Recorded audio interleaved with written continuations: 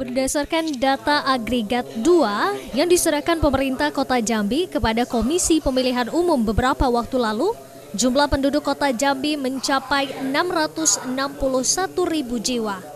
Dan data itu akan dijadikan landasan KPU untuk menentukan mata pilih dan TPS pada pemilu mendatang. Dikatakan anggota Komisi A DPRD Kota Jambi, Horizon, DPRD merasa pertumbuhan penduduk itu sangatlah signifikan dari data sebelumnya. Untuk itu DPRD merasa data itu harus divalidkan kembali karena mengacu pada pengalaman sebelumnya, data penduduk sangat rawan untuk dipolitisir untuk kepentingan tertentu.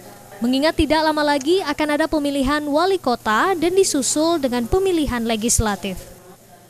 Dalam waktu dekat, Dewan akan melakukan pemanggilan kepada Sekda Kota Jambi Dukcapil Kota Jambi, dan KPU Kota Jambi untuk membahas secara bersama-sama terkait kevalidan data jumlah penduduk tersebut. Jangan sampai data yang ada menjadi permasalahan di kemudian hari.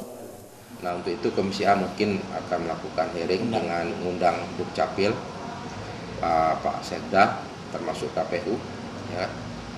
Kita mau lihat uh, sumber pertumbuhan penduduk itu dari mana aja bisa 661 itu itu memang harus valid betul-betul valid ini dalam rangka persiapan pilwaktu 2013 kita mau tahu benar sehingga masyarakat pun meyakinin bahwa data itu yang 661 ribu itu betul adanya.